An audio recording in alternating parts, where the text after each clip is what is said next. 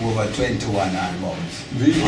Yes, I have an album with um, 11 number one songs on it. Ixley Abiar must go and all praises due to the Almighty. I'm the original rootsman, Earl Chen, Rockers TV. Hope you're feeling copacetic and upful and bright. Needless for me to say, it's a pleasure to have you in my congregation because, you know, you just keep it real. Today, I'm very honored and pleased and feel so overwhelmed to be in the presence of one of Jamaica remaining true legend who has contributed to the development of reggae music with some big hits like OK Fred, Black Cinderella, Movie Star, Ooh Darling. and we could go on and on. I'm quite sure you must have an idea who I'm referring to. I want to welcome a living legend once again. Errol, how are you doing, my brother? Happy New Year. Greetings. Uh, Same to you, Earl. All the best. Yeah, greetings. Yes. A pleasure to be here.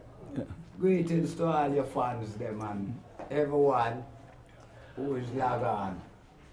You know, How does it feel to be a man? Yeah, Because you're one of the few legends that is still alive, you know what I'm saying? How does it, what, what, what, what, what, what is the, the, the, how you preserve. preserve or really maintain the longevity from 19, you first came into the business in Uh, 1961, yeah, 62. 62. I was 11 year old. 11 years old. Yeah, singing for Prince Buster. Right.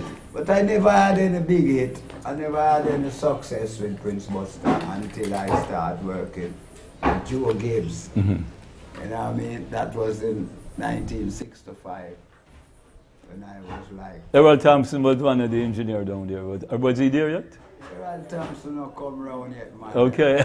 Okay. Errol Thompson Yeah. there. Uh, A studio one, I learned the business with the engineers, Sid Bucknor. mhm. And Mr. Dodd, I'm employer. You know what I mean? So you don't know, say, uh, Joe Gibbs my boss with. And I had big success with Joe Gibbs, but it never lasted. I start working with people like Bunny Lee, because he was the one who introduced me to Joe Gibbs. Mhm. When Joe Gibbs was just coming into the business, because the first hit song Joe Gibbs had, had at the time was a song named Hold Them with Roy Shirley. Okay. Then I came along, Bunny Lee took me there, and I did um, a song called What You Gonna Need The wicked tune. Yeah, that was my Yeah. first hit song. Then I Yeah. had a follow Uh-huh. up. Please stop your lying, girl, and speak the truth. That was the second hit song. You know what I mean? Then I did, I, I did um, a, a, a, a- a medley of the songs because at the time this medley thing was going on. You know mean? Alton do like six songs together. Okay. Ken Boothe, a portion of, of, of songs he singing one same way. Then I did um, my three hit songs by Rupert Edwards, which was a big success. And those songs were Th- Those songs were the tree b- that you did over. the three songs Yeah. was um, You're Gonna Need Me, Mhm. Stop Your Lying Girl, Okay. and I'm Going Home. You know what I mean? And at an at a early age, I started producing for myself because we never liked the treatment that the producers was giving us. So me and Godfrey formed the African Museum.